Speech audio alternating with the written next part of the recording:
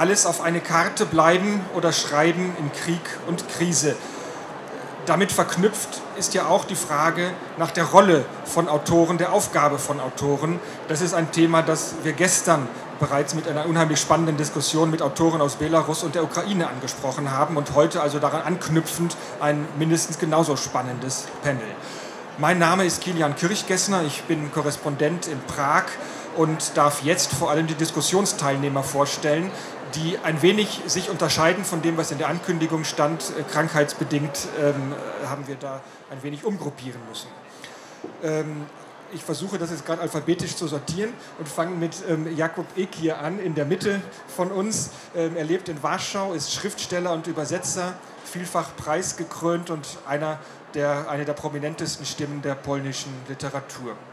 Wir haben Wilfried Jilge, ähm, ein Mann mit unheimlich vielen spannenden ähm, Stationen ähm, im Rahmen der Osteuropa-Kunde. Er ist Osteuropa-Historiker, forschte schon früh zur postsowjetischen Ukraine und ist Mitglied der Steuerungsgruppe der ukrainisch-deutschen NGO-Plattform Kiewer Gespräche. Außerdem ist er beim Auswärtigen Amt auf der sogenannten Stabilisierungsplattform ein wichtiger Berater für die Ukraine und die Schwarzmeerregion. Und last but not least Natalka Sniadanko, äh, ukrainische Schriftstellerin, Journalistin und Übersetzerin. Sie hat elf Prosabände veröffentlicht, arbeitet als Journalistin unter anderem für die Deutsche Welle und die Süddeutsche Zeitung und ist derzeit hier in Leipzig mit einer Promotion befasst. Herzlich willkommen Ihnen allen. Ähm, Frau Sniadanko, wir fangen mit Ihnen direkt an. Dieses Thema Bleiben oder Schreiben, ähm, Bleiben oder Gehen. Wie intensiv diskutieren Sie das unter ukrainischen Schriftstellern? Ja, danke für die Vorstellung, für die Einladung, für dieses spannendes Thema und vor allem, dass äh, die Ukraine nicht vergessen wird, nicht alleine gelassen wird. Das äh, Mindeste, was wir können, das ist darüber zu diskutieren äh, und äh, das meiste, was wir können, ist darüber zu kämpfen. Aber man, manchmal ist das Diskutieren auch kämpfen. Ja. Es ist die Frage, äh, wie man das macht, mit wem man das macht und wie schafft man Klarheit in unserer Welt der Postwahrheit, wo alles sehr, sehr verschwommen ist und oft so gemacht wird. Äh, es ist äh, gar keine Frage in der Ukraine, dass man nicht nur kämpfen muss, äh, das heißt mit Waffen kämpfen muss, sondern dass man über die Nachhaltigkeit nachdenkt und vor allem in der Nachhaltigkeit der Kultur und des Bildes der Ukraine in, in der Welt. man weiß leider immer noch sehr wenig über die Ukraine und wenn, dann nur die aktuellen Nachrichten.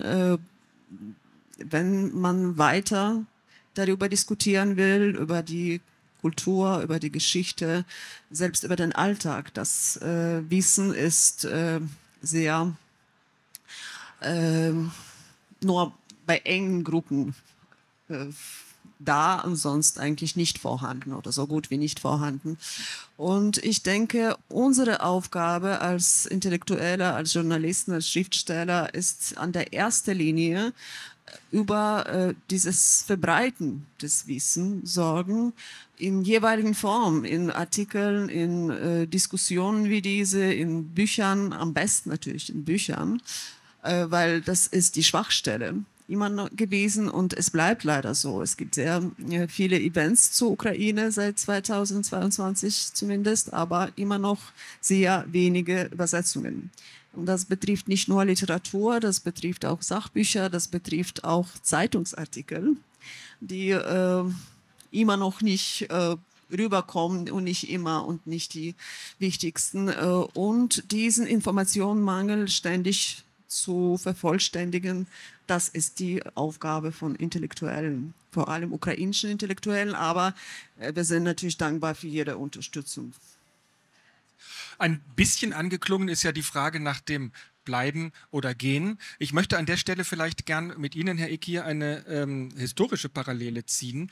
Als, mit meinem tschechischen Hintergrund fällt mir bei dieser Frage bleiben oder gehen natürlich vor allem ähm, ähm, Josef Skworecki ein, der ein fantastisches Werk der Exilliteratur in Toronto aufgebaut hat vor 1989 und so eine Art Sammelbecken dargestellt hat, auch für viele ähm, Literaten, die ins Exil gegangen sind Sie selbst waren 89 ja noch zu jung, um aktiv in der Literaturszene verankert ähm, gewesen zu sein. Aber wie haben Sie auch im Nachgang diese Debatte mit, mitbekommen, zu gehen oder zu bleiben während der Zeit der Repression?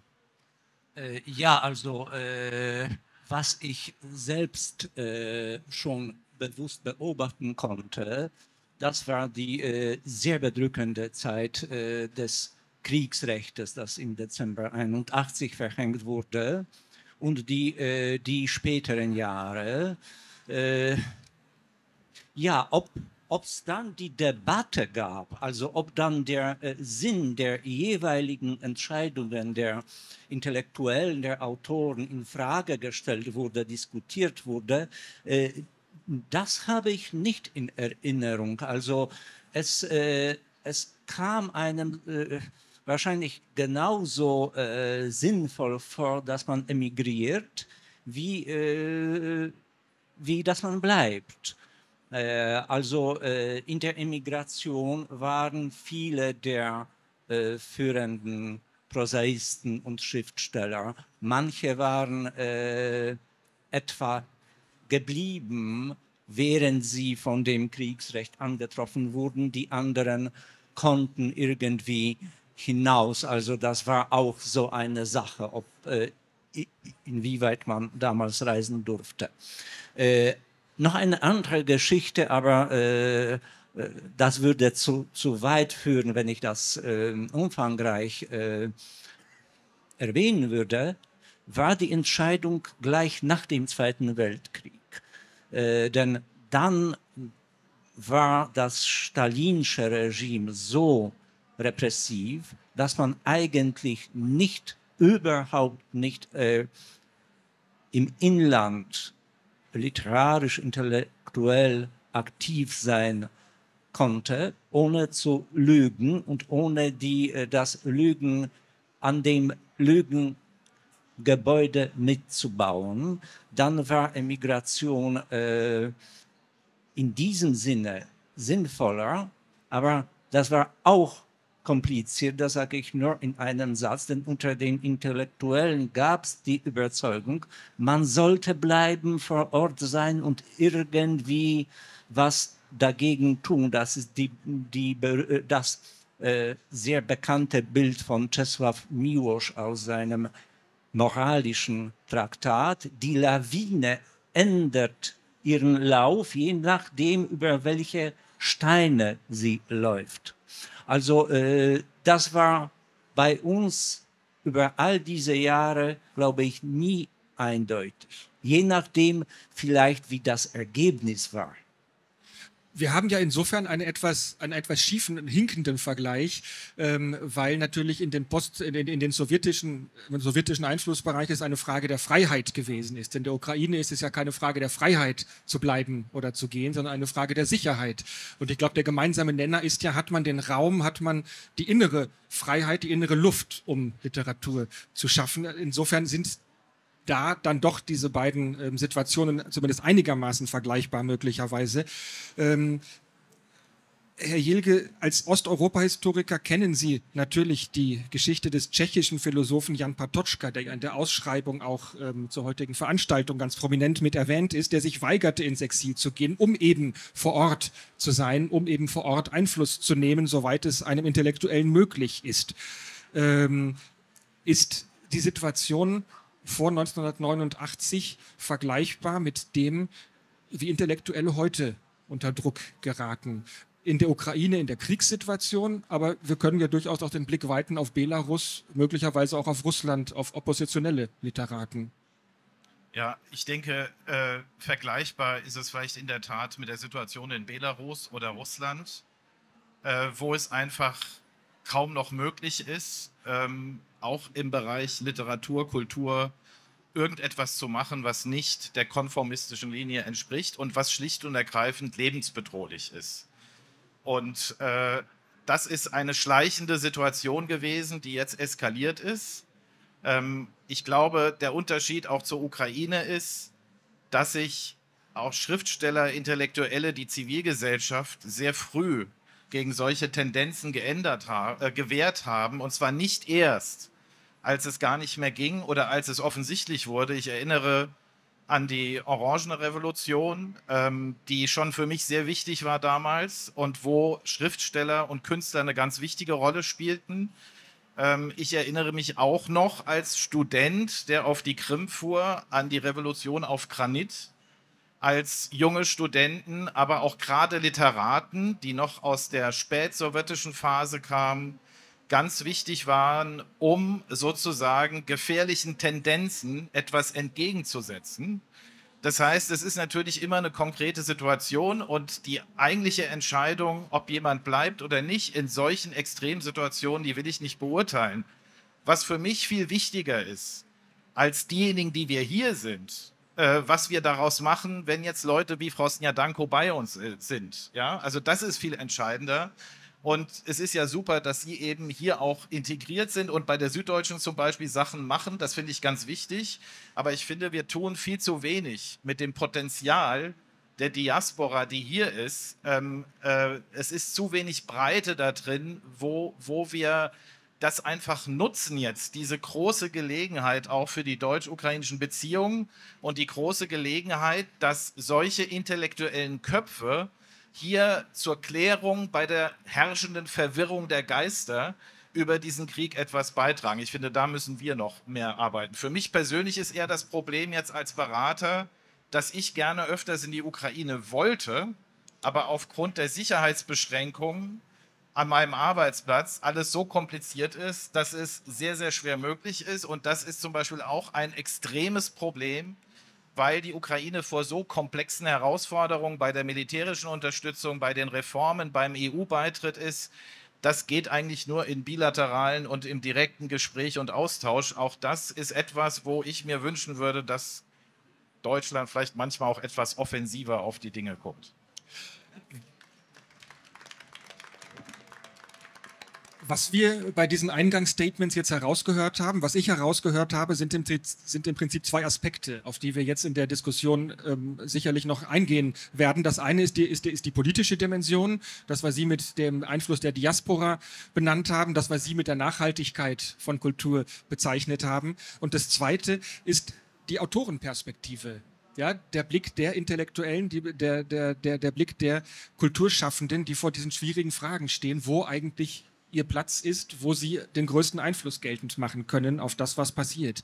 Ähm, Frau Sniadanko, hat der, in, in welcher Art und Weise hat der Krieg Ihre Arbeit als Literatin verändert? Hat es die Themen verändert? Hat es die Zielgruppe verändert? Die Zielsetzung, mit der Sie schreiben?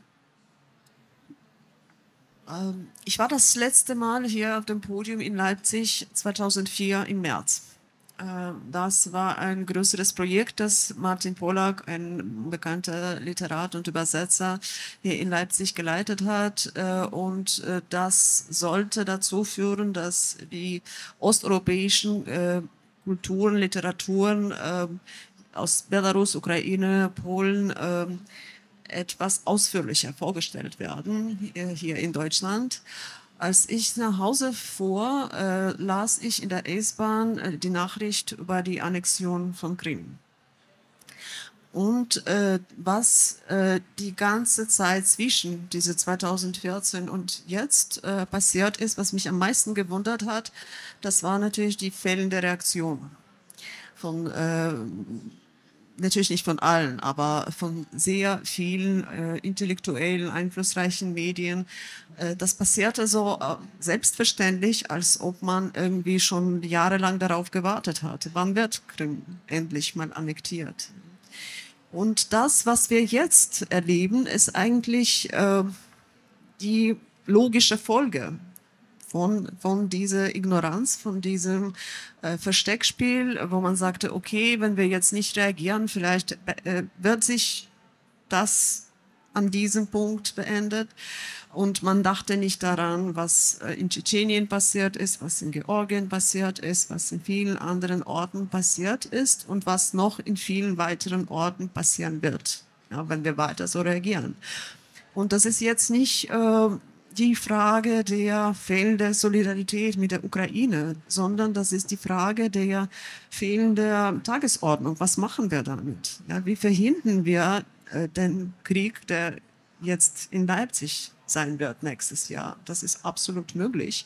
Und das ist genauso jetzt kein Thema wie damals die Annexion von Krim.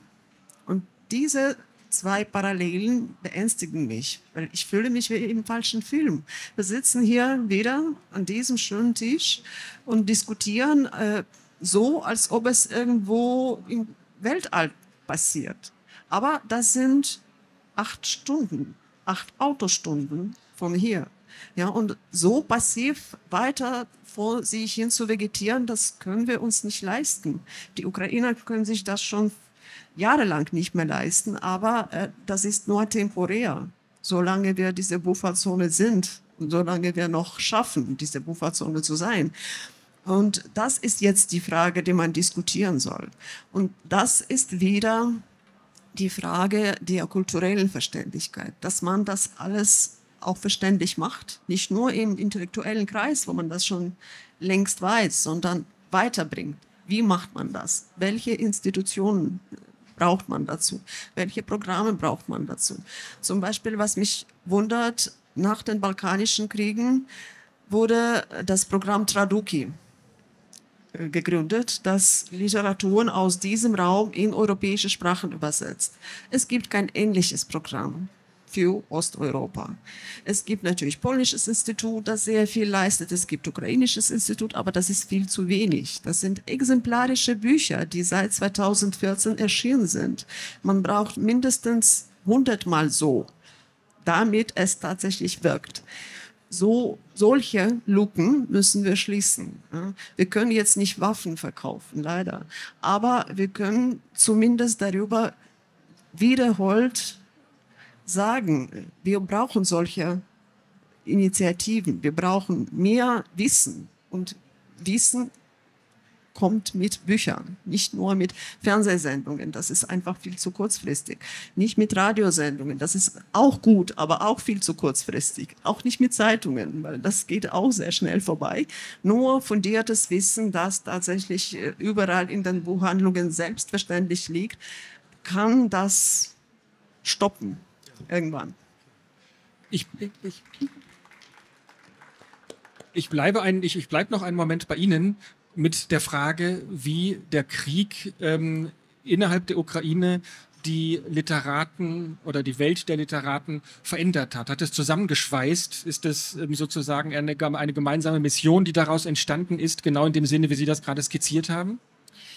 Also eigentlich äh, hat sich wenig verändert. Äh, wir leben in diesem Kriegszustand äh, seit äh, Ukraine unabhängig geworden ist, weil äh, ukrainische Intellektuelle oder Schriftsteller zu sein bedeutete immer im Ghetto zu sein.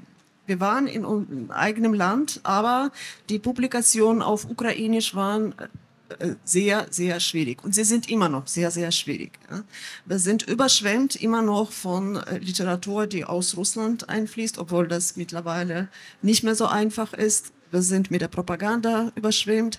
Das kulturelle Produkt von ukrainischen Intellektuellen war immer eigentlich äh, Widerstandarbeit.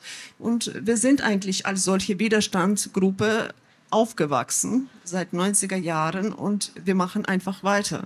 Das ist jetzt äh, nichts Neues. Ja, es ist natürlich, die Gefahr ist größer, das, die Situation ist akuter, aber das, was wir machen, ist eigentlich immer so gewesen. Wir sind wie die, äh, ja, wie die Kaufagenten von Tür zu Tür gegangen und gesagt, ja, lies mal das Buch. Es gibt noch diesen Buch. Kennst du diesen Autor? Und das ist diese Arbeit, die seit Jahren eigentlich zu diesen wenigen Schritten geführt hat.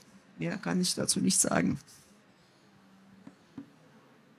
Noch, äh, Entschuldigung, noch die Frage, ob man geht oder bleibt. Ich glaube, das ist insofern nicht relevant für ukrainische Schriftsteller, weil äh, fast alle seit mindestens zwei Jahren irgendwo in Flugzeugen, Zügen und so Autobussen leben. Man ist kaum irgendwo angekommen. Man fährt von einer Veranstaltung zur anderen, von einem Ort zum anderen. Das ist irgendwie ständige Bewegung. Selbst diejenigen, die als ob im Lande sind, die sind ständig unterwegs, die sind ständig beschäftigt. Das ist jetzt kein Leben zum Schreiben. Das ist etwas, was ich sehr intensiv auch von der gestrigen Veranstaltung mitgenommen habe. Nach innen hinein, ins eigene Land hinein, der Bedarf nach Literatur, der Bedarf, das Ausgehungertsein dafür, dass man zumindest die Kultur hat als etwas, was in der Zeit der Unmenschlichkeit die Kultur, die Menschlichkeit sozusagen bewahrt. Das kam gestern in der Diskussion sehr deutlich herüber und ist die Funktion von Literatur im Land. Und dann gibt es die zweite Funktion, diese nach außen hin wirken, das, was Sie jetzt gerade sehr deutlich geschildert haben. Ähm, insofern haben wir da ja die Doppelfunktion, wie Literatur hilfreich sein kann. Ähm, Herr Ekir, Sie haben so fleißig mitgeschrieben gerade, dass Sie, ähm, dass ich den Eindruck hatte, es zuckt Ihnen in den Fingern, unmittelbar darauf zu reagieren, was ähm, Ihre Kollegin gerade sagte. Was geht Ihnen durch den Kopf, wenn Sie das hören? Äh, also ich kann, äh, ich kann nichts äh, dazu hinzufügen, was Natalka über die Situation äh, des ukrainischen Buchmarktes, Kulturbetriebes und der ukrainischen Autoren und Autorinnen gesagt hat. Ich würde vielleicht, äh, vielleicht äh, sagen, was ich, was ich äh, doch ein bisschen unterschiedlich vielleicht als äh, andere hier hm, äh, für eine Aufgabe der Schriftsteller hm, äh, halte. Und was ich in Polen auch vermisse, ganz besonders in Bezug auf die innenpolitische Entwicklung bei uns, die ja äh, ganz eine neue Wendung angenommen hat, aber die nach wie vor alles andere als einfach ist. Und zwar, ich äh, glaube, man soll nicht das Potenzial äh, der Autorinnen und Autoren als Publizisten und als Stimmen, die sie zu den öffentlichen Dingen äußern, unterschätzen. Äh, das vermisse ich bei uns relativ, mehr oder weniger. Und ich glaube doch, äh, die Autoren äh, sind, die haben eine ganz besondere Rolle zu erfüllen, indem eine Autorin, ein Autor mit welcher Ausbildung auch immer, mit welchem äh, Hintergrund an äh, Beruf, Studienabschluss und so weiter auch immer. Ein Autor, eine Autorin ist immer eine Art Vermittler, Vermittlerin zwischen Geisteswissenschaft und Öffentlichkeit, Psychologie und Öffentlichkeit, äh, Sprachkritik, Sprachbewusstsein, Sprachbeobachtung und Öffentlichkeit. Eine Autorin, ein Autor, ein Ganz besonders vielleicht gilt es für die Erzähler, kennt normalerweise die Weltgeschichte besser als ein einfacher Sterblicher. Wir sind Leute, äh, die zwischen verschiedenen sozusagen festen wissenschaftlichen Gebieten stehen und wir können äh, viele Inhalte und Meinungen vermitteln. Wir können Stellung nehmen und wir können, das ist ja vielleicht die Hauptaufgabe von uns. Ich würde sagen, in der, äh, in der, in der äh, kurzfristigen Dimension sogar größer als Bücher schreiben, das ist dem, äh, ja, ich wage das Wort, dem Bösen in der Sprache und in der äh, Gedankenwelt äh, entgegenarbeiten. Den Fakes, den Klischees, den Halbwahrheiten der Sprachmanipulation. Äh, wir sind vielleicht besonders dazu berufen, äh, immer wieder äh, äh, von vorne an der Öffentlichkeit den äh, der eigenen Bevölkerung und vielleicht nicht nur der eigenen zu klären. Wenn sich die internationale Öffentlichkeit und Politik über die äh, Invasion der Ukraine empört. Das ist nicht Russophobie, sondern das ist die Verurteilung der Unmenschlichkeit. Wenn äh, die Ukraine, äh, die, Entschuldigung, im Gegensatz, wenn die ungarischen Politiker sagen, sie sind auf der Seite des Friedens, indem sie Russland unterstützen, dann sind wir dazu berufen, Nein zu sagen das stimmt nicht, das ist Lüge, das ist Halbwahrheit, weil wenn äh, am 24. Februar äh, 22 habe ich äh, ein paar Stunden nach äh, der Nachricht über die Invasion, die ich früh morgens gelesen habe, einen Artikel in der Tageszeitung Rzeczpospolita schreiben können, ver veröffentlichen können, über eine scheinbar kleine Sache. Das war ein Protest dagegen, dass man schon im Vorfeld dieser Invasion, die schon äh, mit der man schon mehr oder weniger über Wochen rechnete, dass man äh, von einem Konflikt sprach. Also ich nannte das, das darf man nicht, denn man stellt äh, Täter und Opfer auf dieselbe, dieselbe, auf dasselbe Niveau. Und was beobachte ich? Zwei Jahre sind vorbei und ich lese Dutzende Male am Tag über einen Konflikt. Also, äh, ich glaube, äh, wir können äh, in dieser Hinsicht äh, nicht viel bewirken. Das ist leider, äh, leider habe ich, täusche ich mich darüber nicht. Ich war entsetzt, als ich lesen konnte über die äh, amerikanische Präsidentschaftswahl, welche die, äh, den entscheidenden Einfluss auf die internationale Entwicklung haben kann.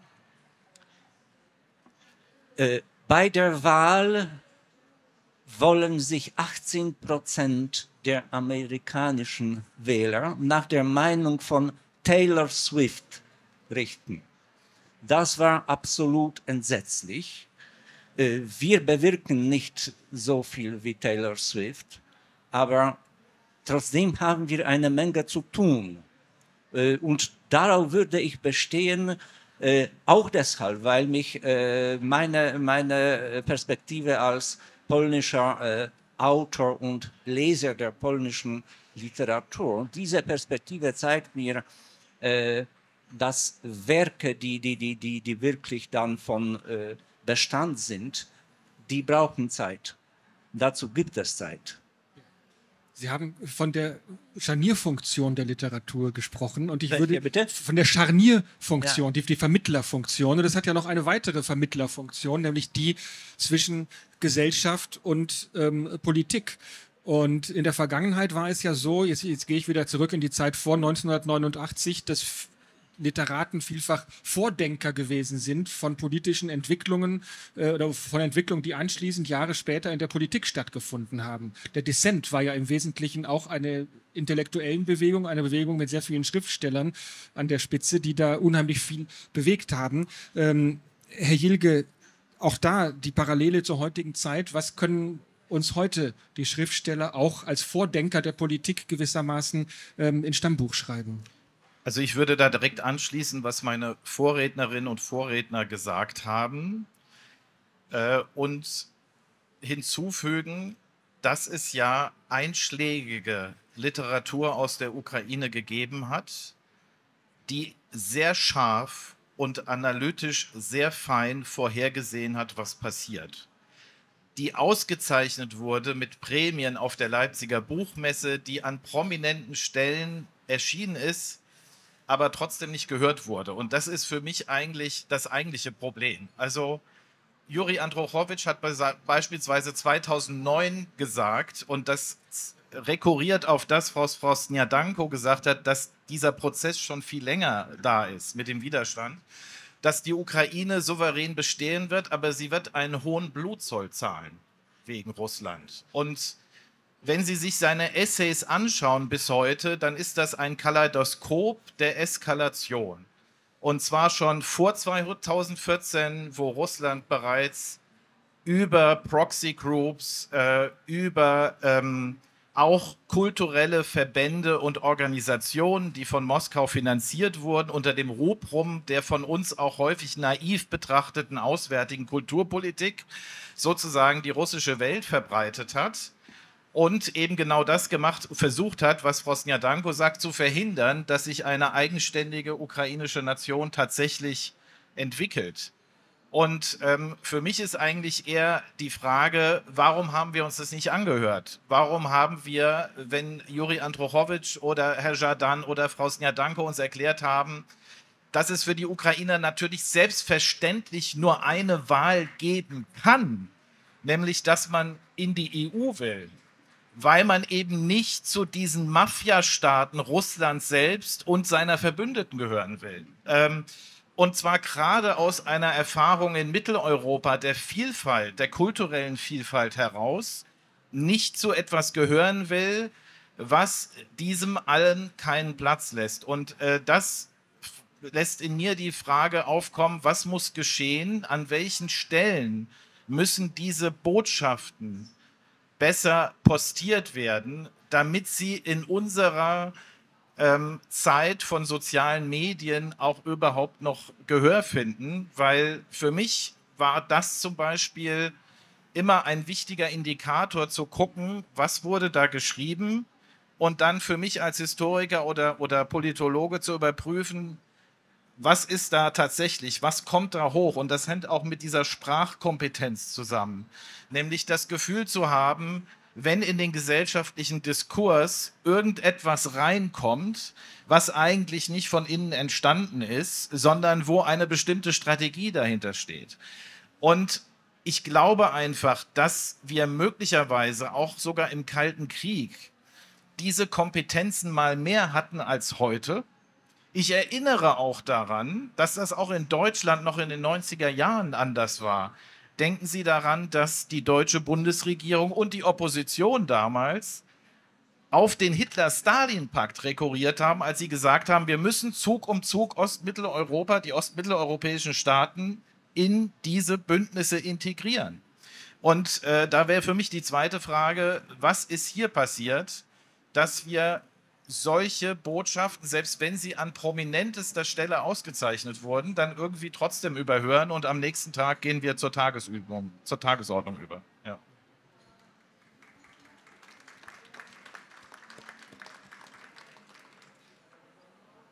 Wir sind sehr auf der analytischen Ebene gelandet, ähm, von dem, was Literatur machen kann und bewirken kann oder eben auch nicht bewirkt, trotz aller Intensität. Frau Sniadalko, was ähm, beschäftigt ganz konkret Sie in der aktuellen Zeit literarisch? Haben Sie, äh, wirkt das wie eine, wie, wie eine Eruption, dass Sie arbeiten möchten, arbeiten müssen, dass Sie zu Papier bringen müssen, was da passiert? Oder wirkt es eher so schockierend, ähm, dass eine Schreibhemmung entsteht? Ja, woran, also wie, wie, wie wirkt sich das auf Ihr Schaffen aus? Ähm, beides am Anfang äh, musste ich schreiben, aber ich konnte nicht. Und mit der Zeit äh, kann ich immer noch nicht, aber ich muss weiter.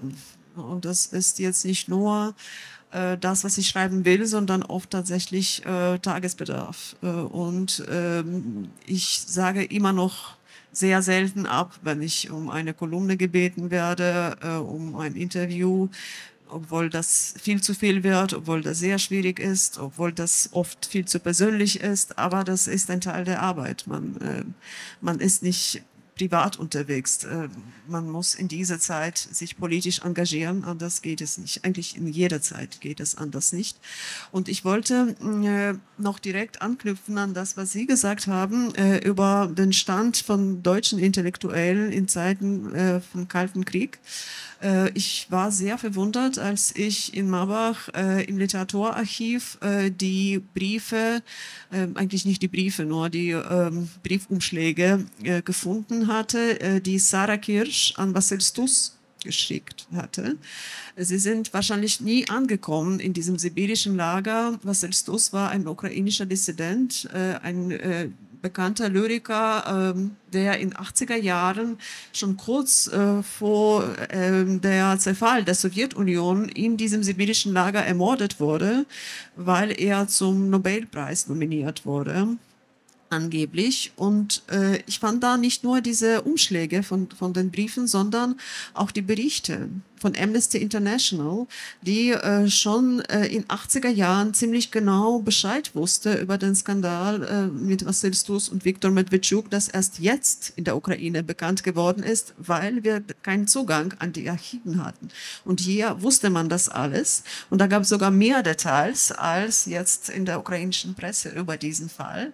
Äh, bekannt ist. Und der Fall war, dass Vassil Stus an, an seinem Prozess äh, von einem sehr bekannten, berüchtigten ukrainischen Oligarchen, jetzigen Oligarchen und damals den Anwalt, äh, verteidigt werden musste. Und das war der einzige Fall in der Geschichte, wo der äh, Anwalt die höhere Strafe verlangte als äh, der Richter.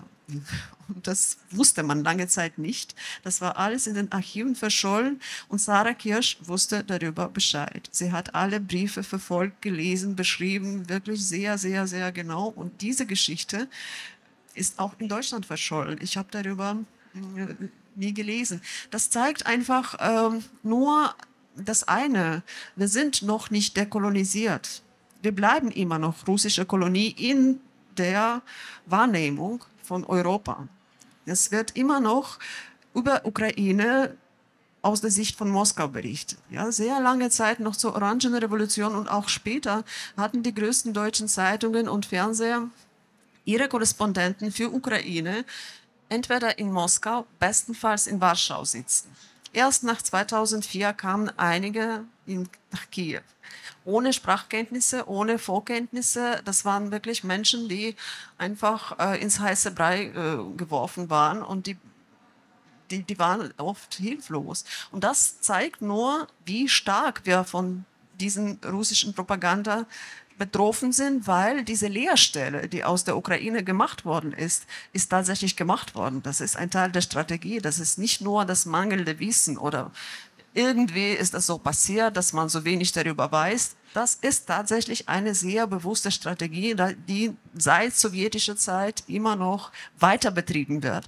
Und äh, man muss sich darüber klar werden. Dekolonisieren, das ist das einzige Wort und die einzige Strategie. Aus der Ukraine ist eine Leerstelle gemacht worden. Ein sehr schöner, ein, ein, ein sehr ähm, prägnanter Satz. Sie beide haben sich gemeldet und möchten direkt darauf reagieren. Sie haben das Mikrofon schon in der Hand. Äh, ja, ich wollte nur ein kurzes Beispiel dafür anführen, was äh, Natalka gesagt hat, also dass die Wahrnehmungsmuster der Ukraine anhalten. Äh, ich war äh, noch nicht als Publizist tätig, als ich 2014 meine erste öffentliche Äußerung in eine Zeitung brachte das war, äh, das betraf eine Äußerung, die uns äh, vielleicht an die, äh, das berühmte Wort von Marine Le Pen erinnern kann. Man kann noch so viel sagen und meinen, was man will, aber die Ukraine ist ja die russische Einflusszone.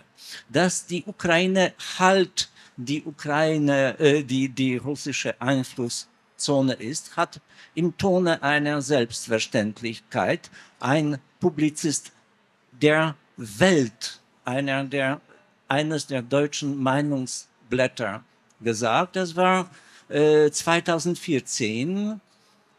Ich habe dagegen protestiert und ich glaube, das war, das war, die haben das auch gedruckt. Ich war, ich war äh, schon darüber befriedigt, obwohl wahrscheinlich deshalb, weil ich da Mittel und Wege hatte, ausgerechnet zu der Welt.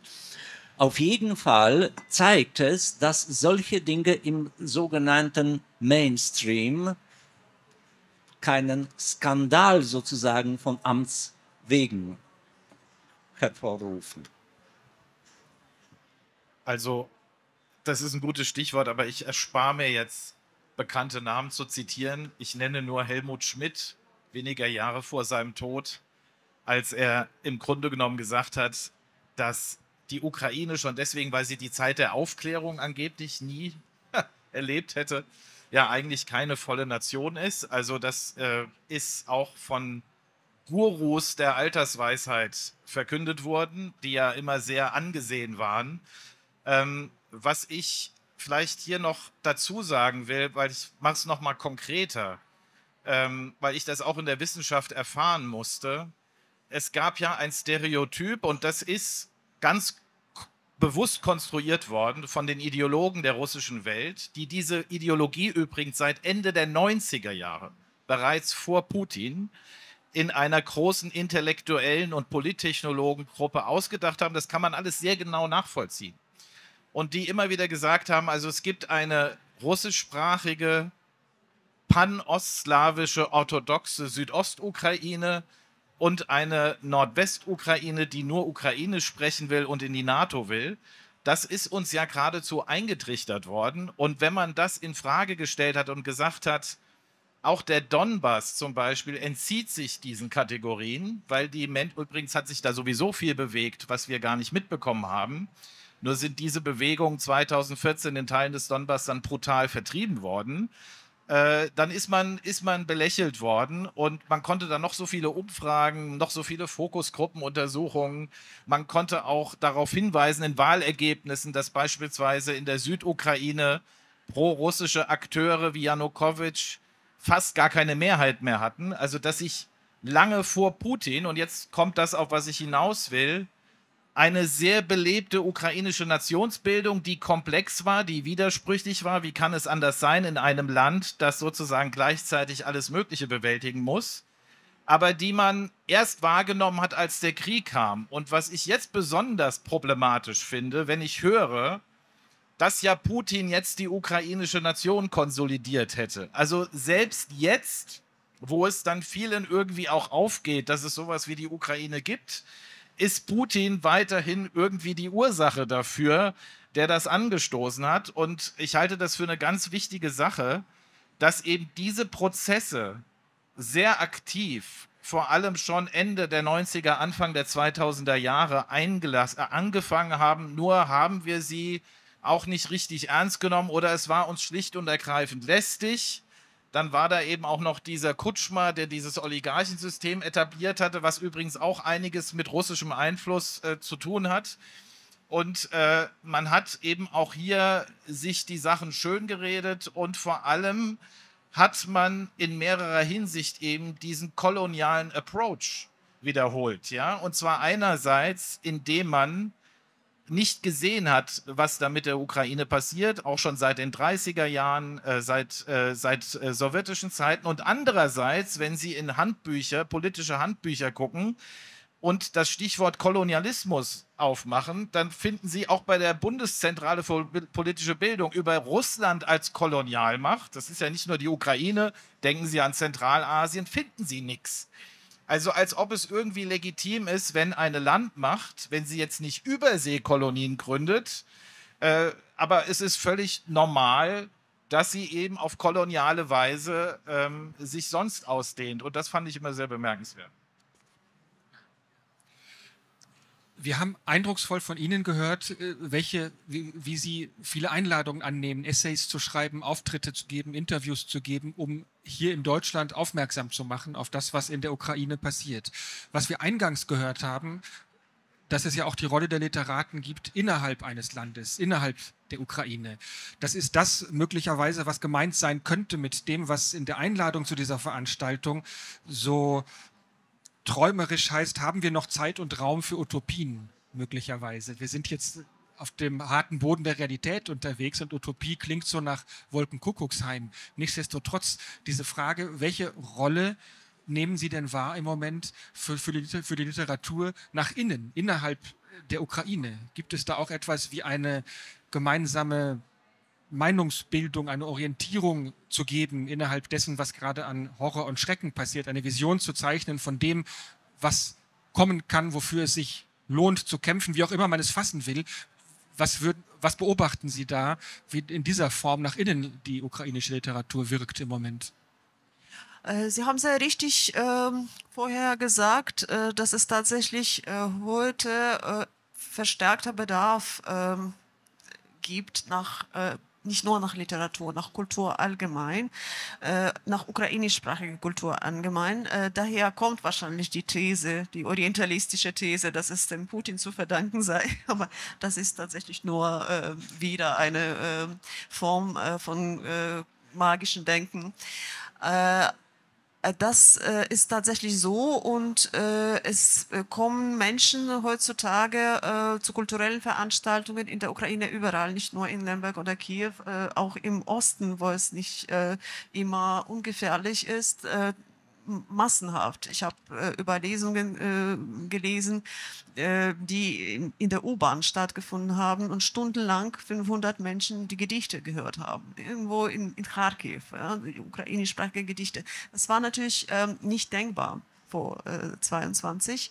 Äh, damals war die ukrainische Literatur eigentlich in diesem westlichen Ghetto, ja, in der Westen der, der Ukraine und in Kiew. Und ähm, Genau, äh, und jetzt äh, passiert das alles parallel. Ja? Es gibt Anthologien, die auf Ukrainisch geschrieben werden, dann werden sie übersetzt.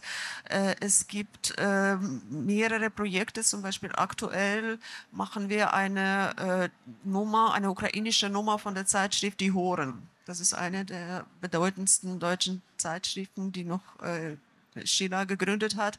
Und wir bemühen uns, äh, dass es natürlich äh, über Krieg geht, dass wir äh, viele aufnehmen, die an der Front gefallen sind, aber dass wir nicht nur über den Krieg äh, sprechen. Und äh, wir wollen das mit dem Motto von Martin Pollack äh, benennen, die kontaminierten Landschaften. Martin Pollack hatte so ein Buch über Ukraine geschrieben, wo er über Schrecken des vorigen Krieges geschrieben hat und über diese leeren Felder, die kontaminiert sind mit dem Ungesagten und äh, Aufgeforschten. Und das wollen wir jetzt wieder aufgreifen und sagen, ja, die sind noch mehr kontaminiert, ja, und jetzt auch physisch. Äh, es gibt sehr viele ähnliche Projekte dieser Art und es geht immer wieder um diese Vermittlungsrolle, Kulturvermittlungsrolle, die seit Jahren äh, unser Schicksal geworden ist und das wir mit der Zeit auch äh, bewusst annehmen und, und machen. Äh, es äh, gab auch jetzt äh, eine Nummer von der äh, polnisch-deutsch-ukrainischen Literaturzeitschrift Rada, dass wir seit vielen, vielen Jahren ähm, auf die Initiative von Philadelphius, von einer polnischen Kulturinstitution, dreisprachige Literaturzeitschrift mit aktuellen Texten aus deutschen, äh, polnischen und deutschsprachigen polnischen und ukrainischen Literatur, jeweils in allen drei Sprachen übersetzt. Äh, das war kein, kein solches Projekt äh, gab es seitdem.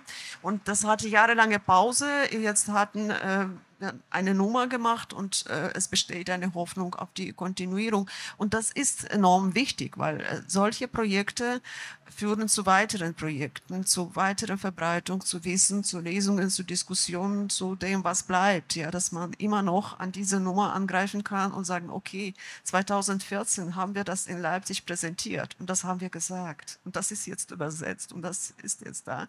Und damit schaffen wir diese Leerstellen ein bisschen kleiner zu machen. Sonst bleibt uns nicht viel übrig.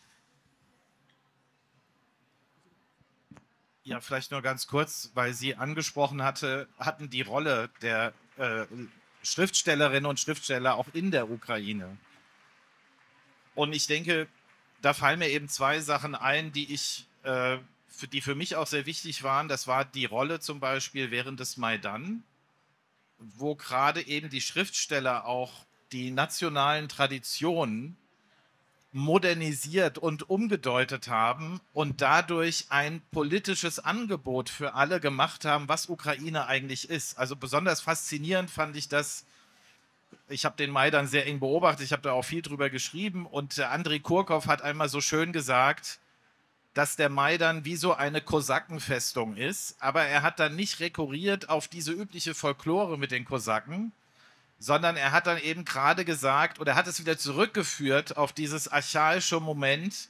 Kosakentum heißt eigentlich, dass man sich in der Steppe unter schwierigen Bedingungen zusammenschließt und jeder tut was dazu nach seinen Fähigkeiten. Das ist übrigens der Kern mal gewesen äh, der ukrainischen ähm, äh, äh, Statuten für die Soldaten 1991. Da gab es mal einen ganz tollen Minister, ganz kurz in der Ukraine, Verteidigungsminister, der vor der Frage stand, wie können wir diese Vielfalt unseres Landes integrieren? Und er hat genau darauf rekurriert. Und das hat der Maidan unter auch, äh, sagen wir, Federführung oder der Innovationsbildung der Schriftstellerin eben ganz massiv auch vorangetrieben. Und das ist für mich eigentlich einer der faszinierenden Sachen, dass die Ukraine unter diesem Druck nicht in eine ethnozentrische Verengung gegangen ist, sondern dass sie die Kreativität hatte oder dass diese Ressourcen da waren, das zu öffnen. Und das war eigentlich ihre, ihre größte Resilienz. Ja, und das ist auch das, finde ich. Und was wir heute, glaube ich, sehen, was auch ganz wichtig ist, darüber müssen wir auch sprechen. Der Krieg zentralisiert, der Krieg engt ein. Der Krieg engt Freiräume auch des Sprechens ein. Es ist so. Es hat nichts mit der Ukraine direkt zu tun. Es hat etwas mit dem Krieg an sich zu tun, denn es handelt sich hier um einen Vernichtungskrieg, gegen den man sich mit allen Mitteln wehren muss. Und wo wir die Ukraine neben allem voran der militärischen Unterstützung, das ist natürlich immer das ganz Wichtige, auch unterstützen müssen, ist, dass wir rechtzeitig als Freunde denen helfen, die vor allem auch dafür eintreten, dass auch im Krieg das gewahrt bleibt, was wir so an der Ukraine schätzen. Denn das ist ganz wichtig, denn diese Freiheiten, dieser Entwurf, der auf dem Maidan entstanden ist und der auch von Ihnen so unterstützt wird, ist einer der entscheidenden Motivationen, auch zu überleben und, und zu sagen, wir glauben auch daran, dass wir, dass wir gewinnen. Und das, das, also daran auch zu denken, das ist, glaube ich, ganz wichtig.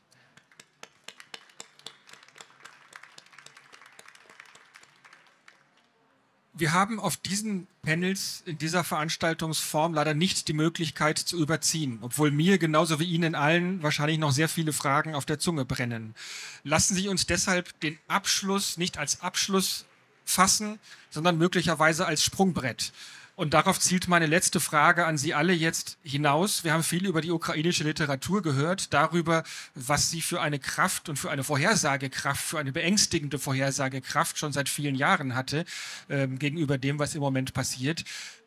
Was geben Sie uns, was geben Sie dem Publikum, mir allen mit als Lektüreempfehlung, um genau an der Stelle jetzt anzuknüpfen, an das, worüber wir jetzt heute auf diesem eindrucksvollen Panel gehört haben? Eigentlich ist das sehr übersichtlich, leider immer noch sehr übersichtlich, was man äh, zur ukrainischen Literatur lesen kann. Äh, die Zeitschrift Rada, die ich erwähnt hatte, die steht online. Das kann man äh, lesen, äh, ist frei zugänglich. Äh, die meisten Bücher äh, zur Ukraine ähm, werden bei Kleinverlagen sowie Fototapeter Verlag aus Berlin, der hier auch auf der Messe ist, regelmäßig gebracht und das ist sehr zu empfehlen. es gibt auch Angebot bei Sokamp, die bekannteren Autoren kommen da raus und ein österreichischer Verlag, Heimon äh, hat einen Schwerpunkt Ukraine, mehrere Bücher, unter anderem Andrei Kurkov, äh, herausgebracht. Es gibt auch andere Ver äh, Verlage, ich habe nicht alle genannt, aber wie gesagt, das Angebot ist immer noch leider sehr übersichtlich. Lesen Sie einfach, wir sind auf der Buchmesse.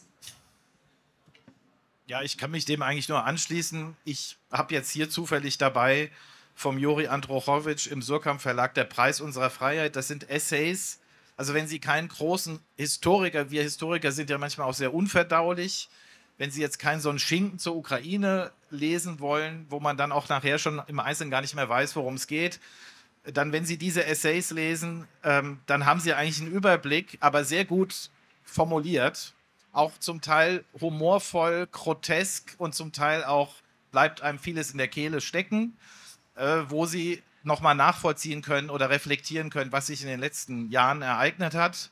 Es gibt aber auch andere Sachen von Serhi Jadan, dass der Roman Internat, hätten wir den früher gelesen, hätten wir besser gewusst, dass im Donbass keine, kein Konflikt herrscht, wie Herr Ick hier das gesagt hat, sondern ein vollumfänglicher Krieg. Äh, ja, und ich äh, würde ein Buch äh, empfehlen, aber auch äh, in einem anderen Kontext erwähnen, und zwar äh, auch von dem von dir angesprochenen Serhi Jadan. Äh, auf Deutsch heißt es Der Himmel über Kharkiv. Das ist eine Ansammlung seiner Tweets oder Posts aus der, aus der Zeit des, des, äh, der frühen Zeit der Invasion. Warum ich das Buch erwähne? Rein literarisch mag es ein bisschen zeitgebunden einem vorkommen, aber das ist nicht die, äh, das Wichtige an dem Buch für mich. Als ich es las, fand ich eine erstaunliche und bewegende Analogie zu einem Thema, an dem ich sonst als Autor gearbeitet habe, an der Belagerung von Warschau äh, im September 1939 die der Wille, trotzdem das volle Leben zu entfalten, kulturell, sozial, den Alltag äh, zu kooperieren, sich zu, sich zu mobilisieren.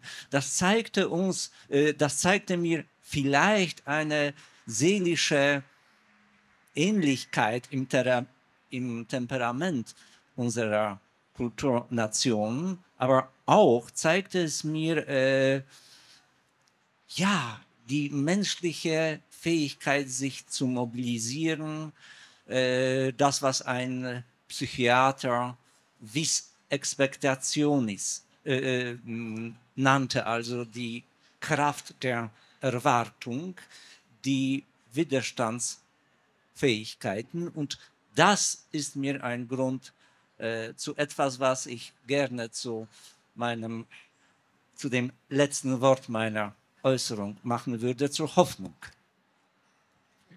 Danke.